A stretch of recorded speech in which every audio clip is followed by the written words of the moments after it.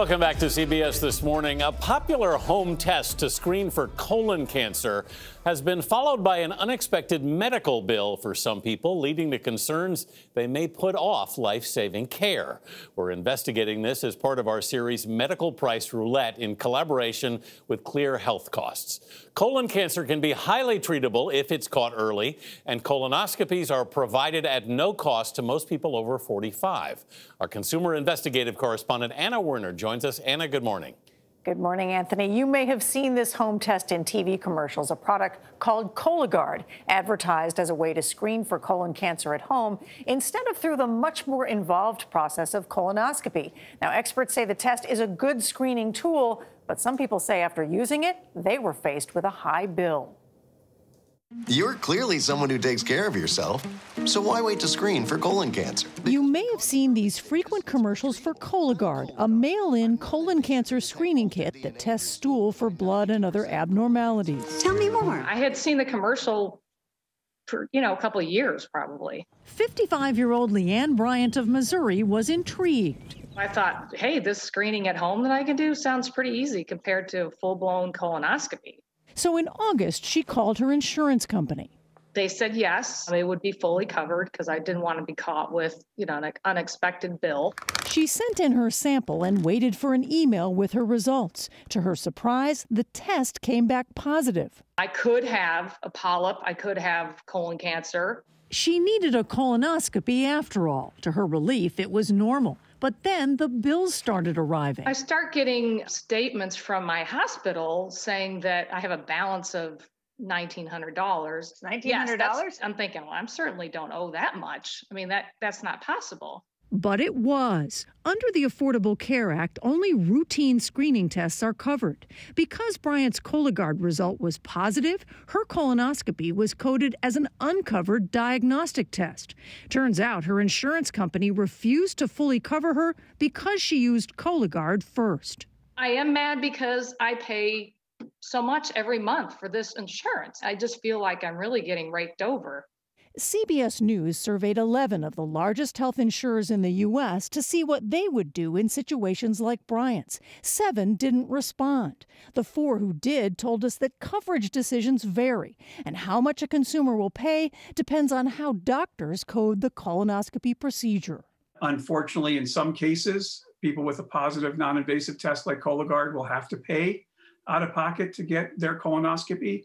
The University of Michigan's Dr. Mark Fendrick, who studies medical pricing problems, worries when people find out their colonoscopies might not be covered, they won't get them, even with a risk of having colon cancer. The fact that the people who are deemed to be at higher risk, that it's not easy financially or otherwise to get the colonoscopy makes absolutely no sense to me. So, what does the manufacturer of Cologuard have to say? Exact Sciences CEO Kevin Conroy agrees there's a problem if one person gets a bill associated with screening, it's one person too many. But after we started asking questions, Conroy says the company decided it needed to add new language to its website, saying although millions of patients have access to this follow up colonoscopy with no out of pocket costs, not all do you raising this helped us it helped highlight what we can do better and so we're always looking for ways to improve i'm cologuard. But we noticed that those frequent tv ads although noting that the cologuard cost itself is covered by most insurance don't mention that a follow-up colonoscopy may not be covered.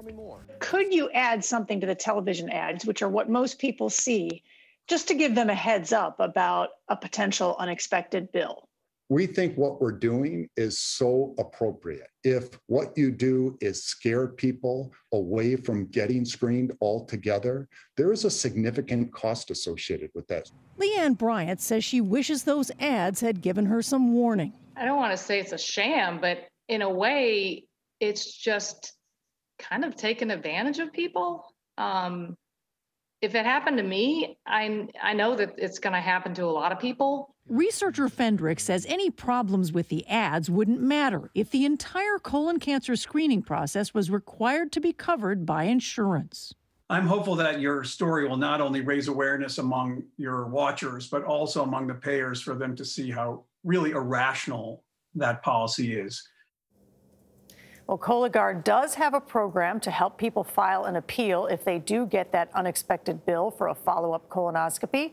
Bryant, by the way, finally won her appeal with her insurance company to get her $1,900 bill paid, but it took her five months to get it resolved. Mm. And we want to hear from other people, guys, by the way. Uh, health costs at cbsnews.com. If you have a medical billing uh, story to tell us, please email me. Yeah. Definitely. It's amazing what happens when Anna Werner calls. Yeah. Things change. $1,900 is a lot when you're not expecting it. I'm glad it it's is. worked out for her. Yeah, and colonoscopies, those bills can be really high. Yeah, they, they oftentimes are two or three thousand dollars. So it's not an insignificant cost for a lot of people. We get a lot of emails about colonoscopies. Yes, I've had one of those, or two or three. Highly recommended. Thank you, Anna.